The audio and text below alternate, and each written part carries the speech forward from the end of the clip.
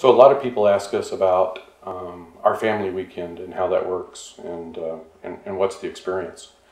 So when everybody comes in, in the first day, we start talking to our participants about family weekend.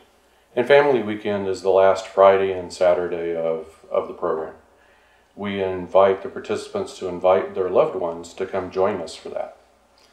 And uh, we do several things while families are here.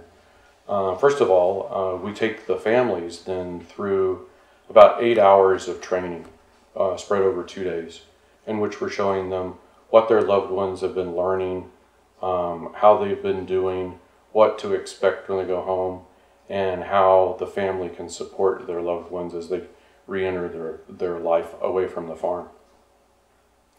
And that's really uh, that's really great work to do. We have we have uh, great joy in working with the families. They're so hopeful. They see um, a, a family member that they haven't seen in a long time.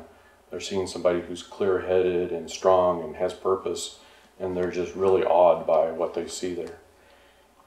The families also have a chance to uh, be a part of the discharge planning for their loved one. They have a, a family session with, uh, with the counselor that is assigned to uh, their loved one. And that's a really powerful process as well.